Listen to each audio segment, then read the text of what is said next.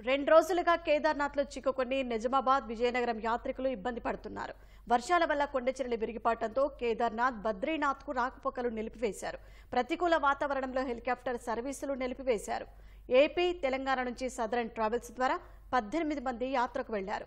కేదార్నాథ్ దర్శనం తర్వాత పద్నాలుగు మంది యాత్రికులు తిరుగుపయనమై వెళ్ళారు. నిజామాబాద్ విజయనగరం యాత్రికులు మాత్రం నలుగురు చిక్కుకుపోయారు. కేదార్నాథ్ దర్శనం అనంతరం బద్రీనాథ్ దర్శనానికి యాత్రికులు వెళ్ళాల్సి ఉంది. వర్షాలు తీవ్రమైన చలి కారణంగా ఇబ్బంది పడుతున్నామని యాత్రికులు తెలిపారు. కేదార్నాథ్లో చిక్కుకున్న యాత్రికులతో ఎంపీ కలిశెట్టి ఫోన్లో మాట్లాడారు. ధైర్యంగా ఉండాలని యాత్రికులకు భరోసా ఇచ్చారు. అధికారులతో మాట్లాడినట్లు యాత్రికులకు చెప్పారు.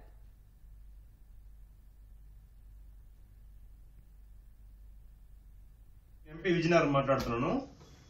నమస్తే నమస్తే అండి. ఇప్పుడు నేను కమిషనర్ ఢిల్లీ కమిషనర్ కూడా కమ్యూనికేట్ చేసా. ఏవెన్స్ మినిస్టర్ గారు చెప్పా. మన PM office and PM office కూడా ఇన్ఫర్మేషన్ ఇచ్చాను. చెప్పాను అందరికి చెప్పాను. మీరేమో ధైర్యంగా ఉండండి ఏం ప్రాబ్లం లేదు. నేను రాత్రి నుంచి మానిటరింగ్ చేస్తున్నాను. మీ ఫోన్ కలగకపోవడం వల్ల మాట్లాడడం లేదు. నేను కమిషనర్ కూడా మాట్లాడాను ఇప్పుడు ఢిల్లీలో. ఇమ్మీడియట్లీ రెస్పాండ్ అయ్యారు అందరూ కూడా. మీరు ధైర్యంగా ఉండండి. ఏ ఎనీ టైం ఏ టైం నాకు కాల్ చేయండి. ప్రాబ్లం లేదు. నేను ట్రావెల్స్ ఆయన కూడా సదరన్ ట్రావెల్స్ ఆయన కూడా మాట్లాడాను ఎండి గారితో మాట్లాడారు అదే మాట్లా- మాట్లాడాను మాట్లాడాను. మాట్లాడాను మాట్లాడాను. అవునండి అవును అవును అవును. అవును. మన ఆ గవర్నమెంట్ కూడా ఆల్రెడీ కమ్యూనికేషన్ వెళ్ళింది మన సెంట్రల్ నుంచి. అవన్నీ మానిటరింగ్ చేస్తున్నాను. మీరు ఇంక ఇబ్బంది ఏం పడవద్దు కొద్దిగా ధైర్యంగా ఉండండి. అన్ని సెటిల్ అయిపోతాయి. ఇబ్బంది ఏం లేదు. ఓకే ఓకే శ్రీనివాస్ గారు అక్కడ.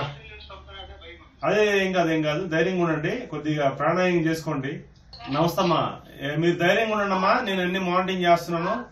మీరు ధైర్యంగా ఉండండి. ఏం ఏం కాదు. అన్ని అన్ని వస్తాయి. అన్ని సెట్ అవుతున్నాయి. కొద్దిగా ఈ ఆక్సిజన్ లెవెల్స్ తగ్గినా సరే కొద్ది ప్రాణాయామం చేయండి. జాగ్రత్తగా ఉండండి. మేము ప్రాబ్లం లేదు. నేను అందరితో మాట్లాడాను. ఢిల్లీలో ఉన్న అందరితో మాట్లాడాను. అంతా కూడా కమ్యూనికేషన్ అవుతుంది వస్తుంది? ఓకే అమ్మా.